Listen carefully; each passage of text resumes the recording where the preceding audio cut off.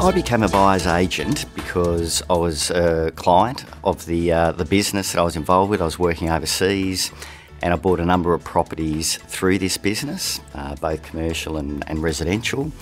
and always had an affinity with property, loved property, and I made the uh, the decision that uh, I'd have a complete career change, and so I bought 50% of the business in 2007, and the remaining part of the business in uh, in 2010.